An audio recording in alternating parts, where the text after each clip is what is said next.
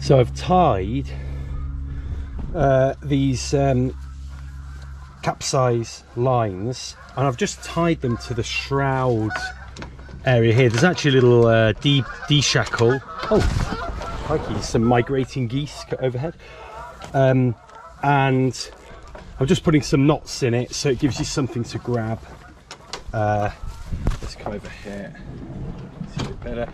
The wind's picking up a little bit actually, so just, just got to keep my eye on that sail. I just put the main sail up just to air it out. So let's just make sure they're nicely spaced. Put two knots in so for my big bearish hands and then one to finish it off at the bottom.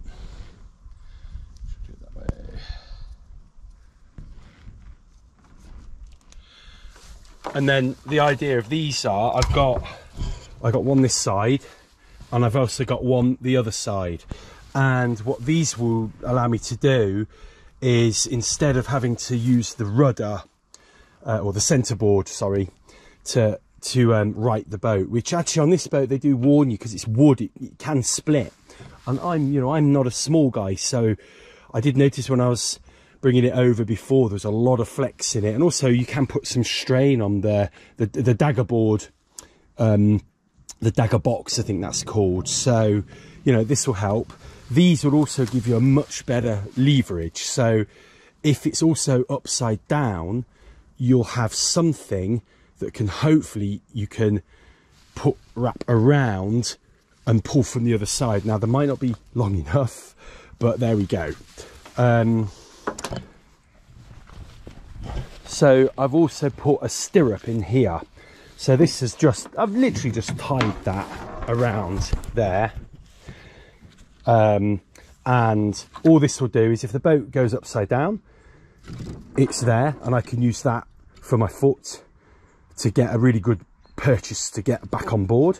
If the boat's upright and I need to get it on board, then it should be, you know, nice and easy to get. Let's come out and give you some perspective to get my foot on on so I can get back in.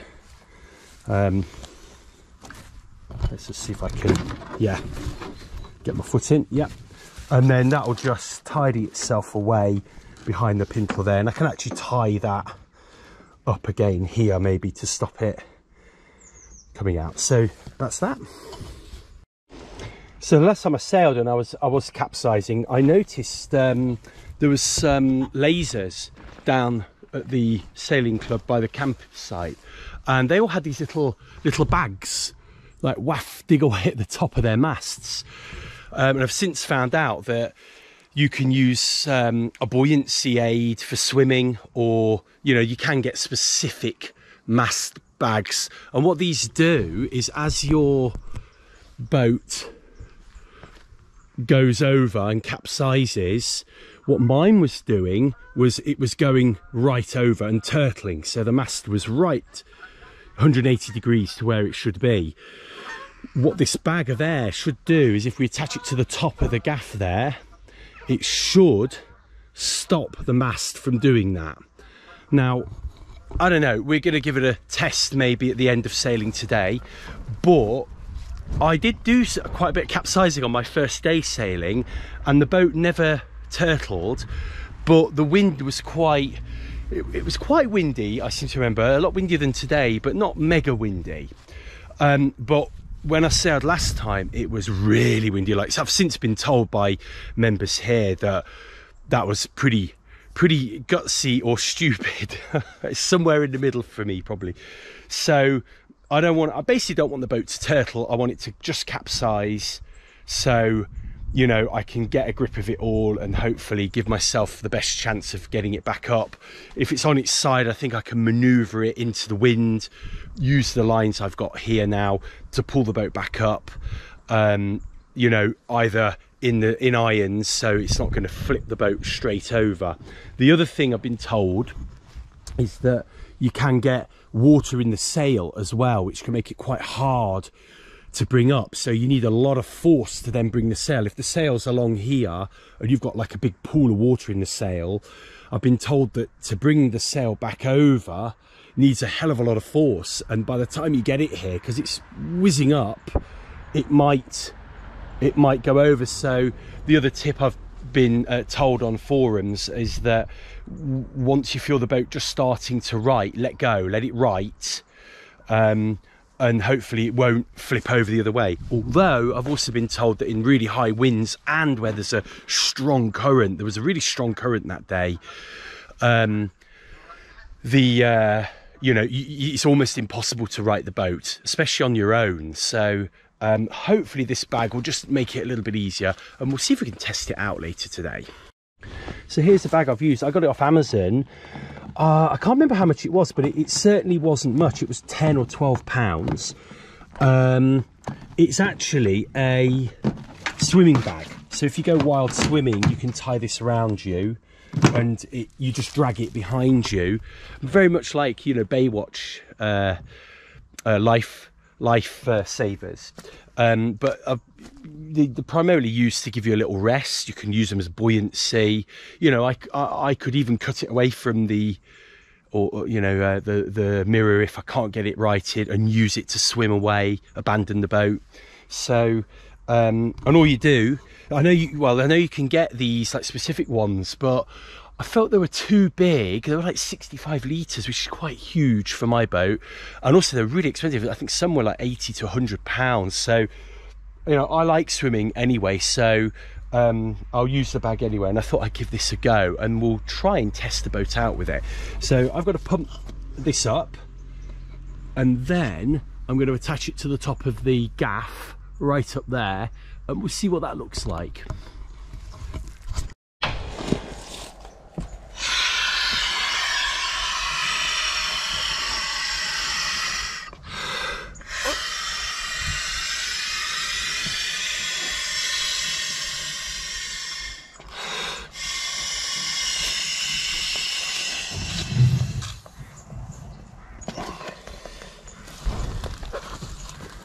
That's the bag closed and pumped up. So I've the bag I've attached it to the top here, which is the only reasonable place I can see to really attach it. Um, I just have to be careful of these because these, ideally I'd like the bag here, but these are, mm, they're sharp enough, you know, to puncture the bag. I might unscrew that and we'll see if we can attach it a bit better. But let's hoist it up and let's see what it looks like. Let's uh,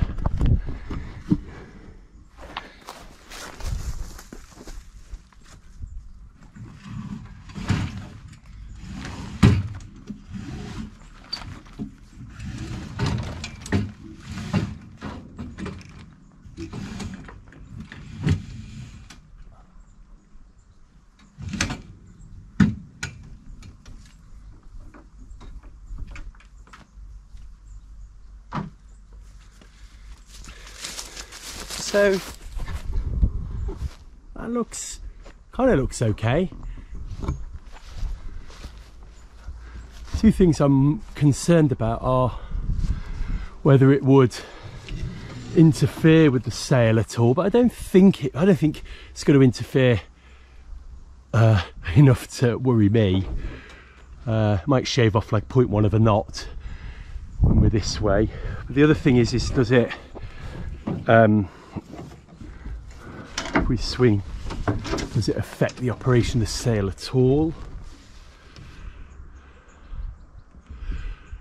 The answer to that is, I don't think so. Let's get it up this way.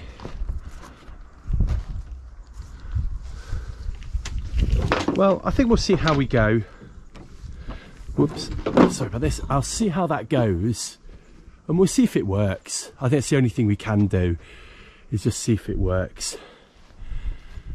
Right, I think we're ready to get out on the water and have a sail. So we're going to do a last tour of my uh, anti or capsize kit, as I say. So starting from the top, we've got the airbag, which hopefully will stop the mast turtling and keep the mast on the water. Um, that remains to be seen, you know, in really strong winds and current, but it'll give it a shouting chance. I've got no idea if that's got enough air in it or or what, but we'll see if that works um, and we'll test that out later. I've got my stirrup at the back, so if the boat is turtled, it'll be here. If the boat is upright, I can pull it through and that'll help me get onto the boat. And that will, I'm just gonna tie that up like there to keep to keep it out of the way. Um, I've got my two capsize helper lines, which I don't know if they're long enough. I was I was wondering whether they should be long enough to go right under the boat so you can pull them from the other way. They, they might be just long enough. They go they go basically literally the width of the boat.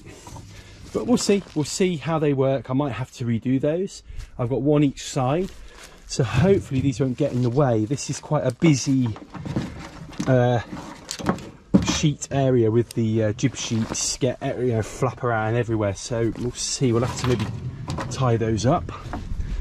Um, and uh, I did actually have enough line left. It's only cheap rope bought it from Amazon nylon rope. Ties up really nicely actually.